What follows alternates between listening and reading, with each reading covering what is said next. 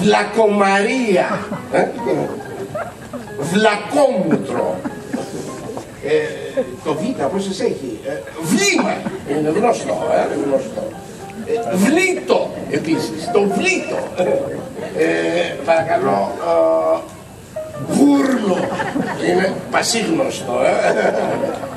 Μπήκαμε στο γάμα, γκούφι, από το Mickey Mouse, γκούφι.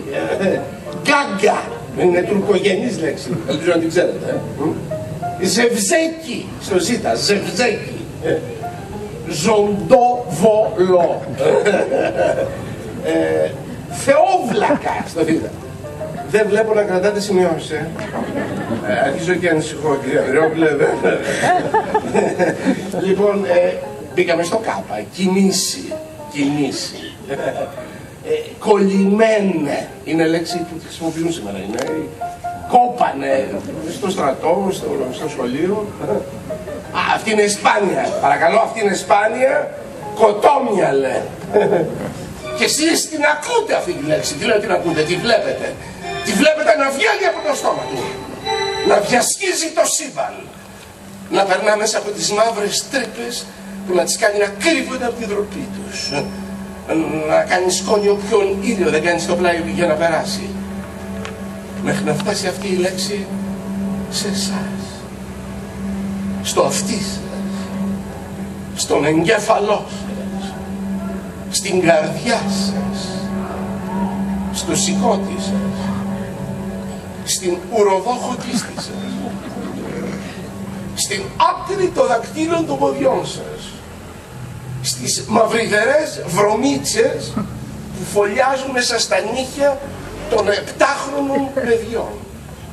Γιατί κάθε επτάχρονο παιδί που σέβεται τον εαυτό του έχει βρωμερές βρωμίτσες στα νύχια των ποδιών. Βρεβλάκα! Με γιώτα γράφεται το μήλο. Βλάκα, ευλάκα. Είπε τη φράση και πήρε μια στάση σαν να ήταν ο ίδιος κατασκευαστής του μήλου με ήττα. Όχι. Καλώς ήρθατε σε αυτό το τελευταίο σεμινάριο της χρονιάς. Το σεμινάριο της επιτυχίας.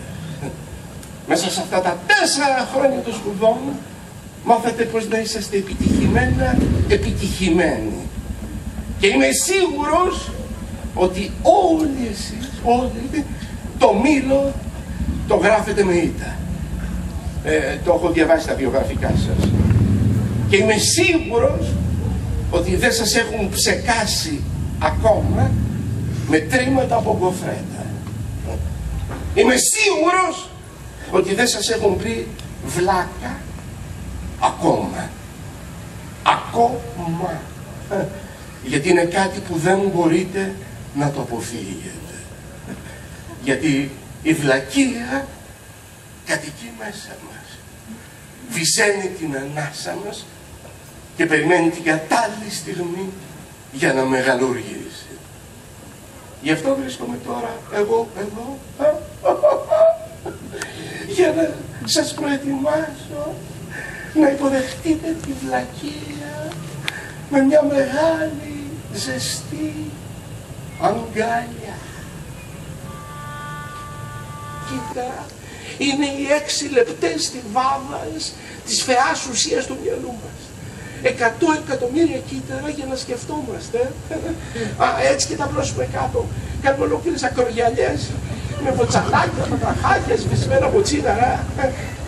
Μα σκεφτείτε ότι αυτή τη στιγμή που κάνω το σεμινάριο τώρα, αυτή τη στιγμή στις Πέτσες, σε αυτόν τον πλανήτη Γη, γη ζουν, στον πλανήτη Γη, ζουν 7 δισεκατομμύρια δίποδα. 7 δισεκατομμύρια άνθρωποι, τώρα, αυτή τη στιγμή. Έτσι και το πολλαπλασιάσουμε με τα 100 εκατομμύρια, καταλαβαίνετε τι ασύλλητος αριθμός κυτάρων κινείται και ζει σε αυτή τη στιγμή στον πλανήτη Γη. Έτσι και τα πλώσεις κάτω, κάνει Χιλιάδε ακρογιαλιέ με φωτσαλάκια, πατραχάκια, σφισμένα από τσίγαρα, πέντε κοκοφίνικε και όλα αυτά τα κύτταρα είναι, είναι για την εξυπνάδα. Είναι για να πολεμάμε τη βλακεία. Πέρα σα! Χειροκροτήστε και τώρα αρχίζει η δουλειά.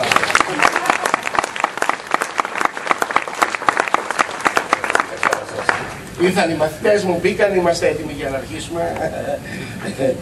καλώς ήρθατε, καλώς ήρθατε σε αυτό το τελευταίο σεμινάριο της χρονιάς. Το σεμινάριο της επιτυχίας. Μέσα σε αυτά τα τέσσερα χρόνια των σπουδών μάθατε πώς να είσαστε επιτυχημένοι, επιτυχημένοι. Η εξυπνάδα, πόσες λέξεις υπάρχουν για την εξυπνάδα. Ας, ας δούμε μερικές έτσι, από το α.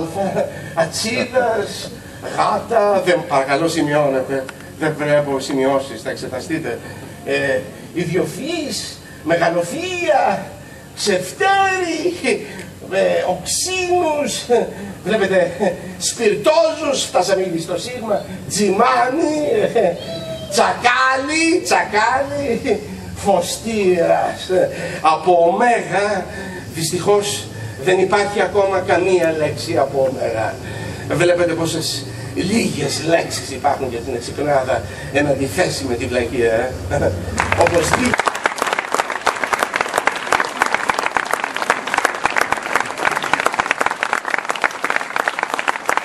Το αγαπώ ιδιαίτερα. Ένα ιστορικό νησί. Ε, ένα νησί που σηματοδοτεί πάρα πολλά πράγματα από την εποχή των σχολικών μας χρόνων. Αλλά είναι πολύ σημαντικό που η ενηλικίωσή μας και τα κερατιά μας εξακολουθεί να σηματοδοτεί πολλά πράγματα. Θέλω να πω κάτι ότι δεν θα μπορούσα ποτέ να φτάσω εδώ αν δεν υπήρξε μια φίλη και ηθική αυτούργος, η Μαούζη. Είναι καλή μου φίλη.